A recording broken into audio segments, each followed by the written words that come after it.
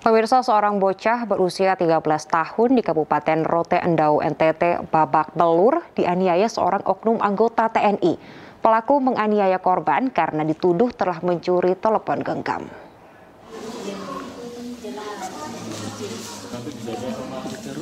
Bocah berusia 13 tahun ini terbaring lemas di ruang perawatan rumah sakit di Kabupaten Rotendao, Nusa Tenggara Timur. Wajahnya babak belur dan sekujur badannya memar usai dihajar seorang oknum anggota TNI.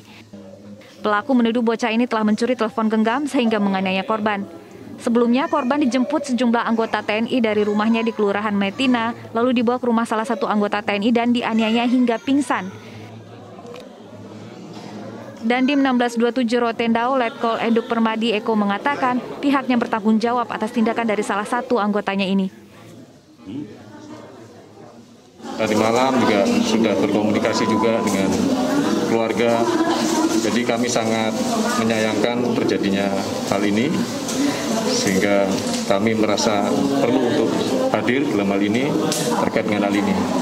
Nah, perlu saya tegaskan sekali lagi pada rekan-rekan media bahwasanya walaupun kita memang melaksanakan kegiatan ataupun upaya-upaya secara kekeluargaan karena memang kita tapi kalau di dalam militer tetap ada ketentuan dan aturan yang harus dilaksanakan sehingga Pelaku kini telah dilaporkan ke Denpom Kupang untuk diproses.